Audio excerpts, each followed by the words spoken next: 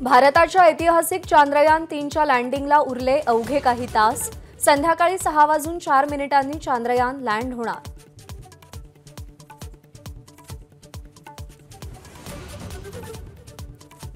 चांद्रयान तीन मोहीम यशस्वी करण्यासाठी पुण्यामध्ये दगडूशेठ गणपतीला अभिषेक नागपूरमध्ये अजित पवार गटाकडून यज्ञ तर देशभरात होम हवन जोरात.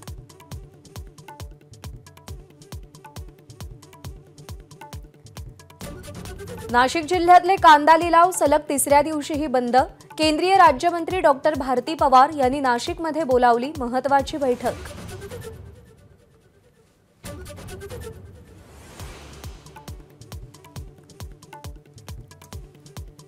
रायगड लोकसभा मतदारसंघात अनंत गीते सक्रिय सुनील तटकरेंविरोधात ठाकरे गटाकडून गीतेंना तिकीट मिळण्याचे संकेत.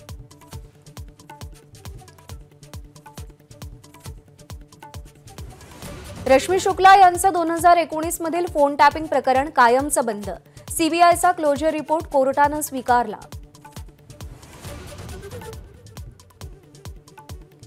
ईडी आणि सीबीआय मधील समन्वयासाठी नवं पद निर्माण करण्याची शक्यता. संजय मिश्रा ठरू शकतात पहिले चीफ इन्व्हेस्टिगेशन ऑफिसर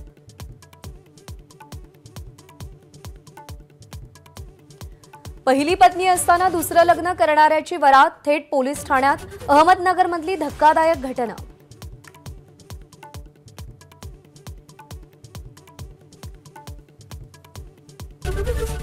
एबीपी माझा. उघडा डोळे बघा नीट.